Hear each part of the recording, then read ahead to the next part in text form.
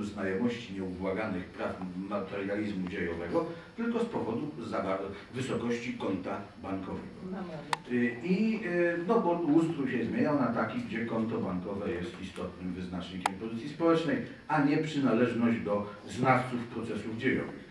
Y, I proszę Państwa, na tym tle, na tym tle dochodzi do konfrontacji między służbami cywilnymi i wojskowymi i takim umownym początkiem, za taki umowny początek tej konfrontacji można uznać zabójstwo księdza Jerzego Popiełuszki, a za finał tej konfrontacji, która zakończyła się całkowitym zwycięstwem wywiadu wojskowego, y, można uznać dymisję dwóch y, postaci, y, takiego arcyubeka generała Mirosława Milewskiego. Jego postać, właściwie nie tyle postać, co posiedzieć raczej, została przypomniana przy okazji reportażu o aferze Żelazo. No i drugiego takiego wybitnego męża stanu Stefana Olszowskiego.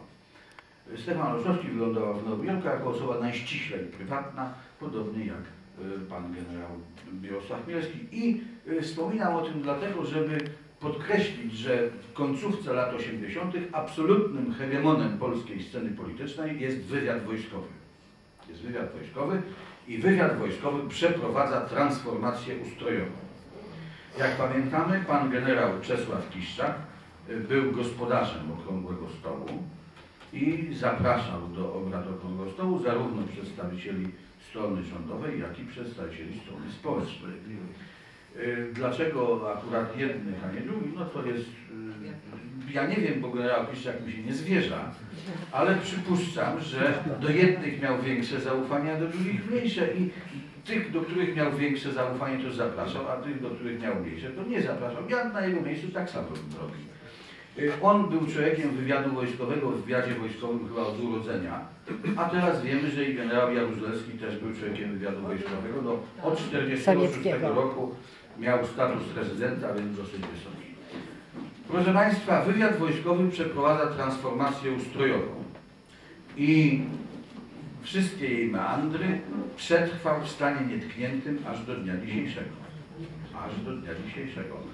Y, myśmy y, za panią Joanną Szczepkowską, która 4 czerwca, jak Państwo pamiętacie, powiedziała nam, że mam dla Państwa dobrą wiadomość. Dzisiaj właśnie upadł komunizm. Myliła się straszliwie, aby razem z nią.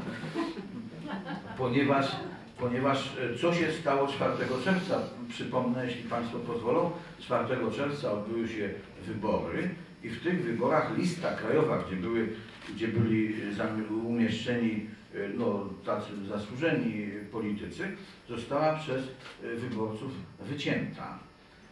I co wtedy zrobił generał Kiszczak? Generał Kiszczak powiedział, że jeżeli ci ludzie nie dostaną się do Sejmu, to on unieważni wybory jeszcze jak się okazało nic nie upadło. Żaden komunizm jeszcze nie upadł.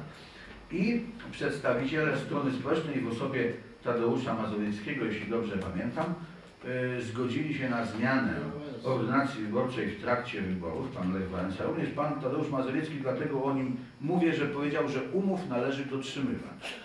Ale nie miał na myśli umowy z wyborcami, tylko miał na myśli tamtę ważniejszą umowę z kimś innym. E, I te, ta, e, takie przypadki podwójnej lojalności potem się powtarzały. Myśmy się do nich już zdążyli potem przyzwyczaić, ale wtedy to było dosyć szokujące wyznanie, jak Państwo pewnie też pamiętacie. E, ordynacja wyborcza została zmieniona w trakcie wyborów, wypadek bez precedensu. No i potem komunizm jeszcze raz upadał, właściwie nie raz, E, następny upadek komunizmu znowu miał miejsce 4 czerwca, tylko że 3 lata później. E, rząd premiera Jana Olszewskiego został obalony za próbę ujawnienia agentury w strukturach państwa. Został obalony przez koalicję grubej kreski, w której brali udział zarówno przedstawiciele dawnej strony rządowej, jak i strony społecznej. Była to już koalicja ponad podziałami. E, proszę Państwa, myśmy wtedy w 1992 roku przez moment mieli okazję zobaczyć takie przerażające trochę kulisy naszej młodej demokracji. Kurtyna została natychmiast zaciągnięta, żebyśmy się za długo temu nie przyglądali, żeby na nas to nie zrobiło jakiegoś piorunującego wrażenia. No a więcej zaczęliśmy się dowiadywać o tych kulisach naszej młodej demokracji z prac sejmowych komisji śledczych. Y, Sejmowa Komisja Śledcza badająca aferę z Rwinem y, stwierdziła, że y, tutaj, prawda, demokracja, wybory i tak dalej, wolność, prawo lud masoni, a jakby nigdy nic, funkcjonuje sobie jakaś grupa trzymająca władzę, y, która cały czas ta sama, bez względu na y, zmianę ekip politycznych rządzących państwem. Komisja badająca aferę Orlenu stwierdziła, nie bez zdumienia, że wszystkie nici zbiegają się jak w soczewce w wywiadzie wojskowym właśnie. I wszystko wskazuje na to, że wywiad wojskowy stanowi najtwardsze jądro naszej młodej demokracji, III Rzeczypospolitej, a zatem można już postawić pytanie, czy w 1989 roku suwerenność została narodowi zwrócona, czy też przeciwnie, były to tylko pozory zwrotu suwerenności, podczas gdy została podstępnie przechwycona przez wywiad wojskowy, przez wojskowe służby informacyjne i wszystko wskazuje na to, że ta druga możliwość jest bardziej prawdopodobna. Y, Te wszystkie grupy trzymające władzę i tak dalej. Proszę Państwa, co to oznacza? No, jeżeli tak się sprawy mają, to oznacza, że zamiana III Rzeczypospolitej na czwartą powinna polegać. Czy ona w ogóle dojdzie do skutku, to jest inna sprawa, o tym będę mówił w następnej części. Y, Powinna polegać na zwrocie, na zwróceniu suwerenności narodowi. Na zwróceniu suwerenności narodowi, na odebraniu suwerenności grupie trzymającej władzę i zwróceniu jej narodowi. Czy to się uda, to zobaczymy. Proszę Państwa, wśród, e, e, takim aktem założycielskim III Rzeczypospolitej, co do której mamy poważne podejrzenia, że jest kolejną próbą okupacyjnej, okupacyjną formą państwowości polskiej, e, takim aktem założycielskim była umowa Okrągłego Stołu, na której zostały zaprojektowane ró- różne rzeczy, a między innymi również pewien ład medialny.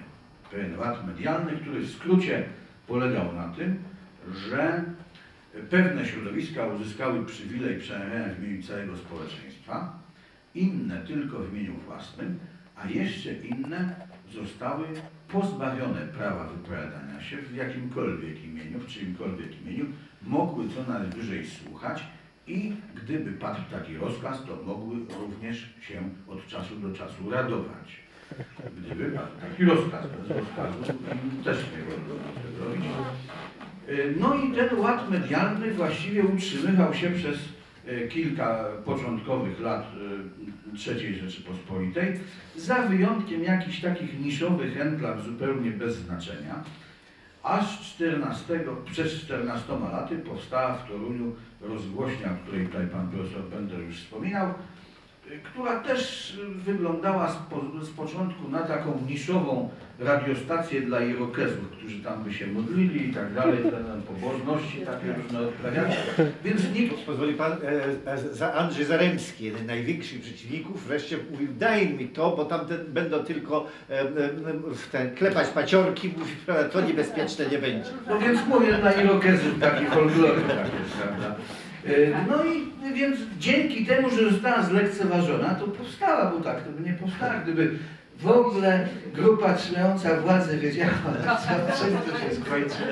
I nigdy tego nie dopuści, nigdy by do tego nie dopuściła. Proszę Państwa, y, dzięki temu y, środowisko, które, dzięki powstaniu tej rozgłośni, środowisko, które było w ładzie medialnym zaprojektowanym przy okrągłym stole skazane na milczenie, słuchanie, ewentualnie radowanie się od czasu do czasu, zyskało możliwość przemawiania własnym głosem. Nieważne, czy ten głos jest rozsądny, czy nie, czy mądry, czy nie mądry, ale własny. Co to za środowisko? Prima vista można by powiedzieć, że to jest środowisko katolickie, ale nie. Ale to nieprawda. Znaczy nie do końca prawda. Dlatego, że na przykład współpracownikiem Radia Maryja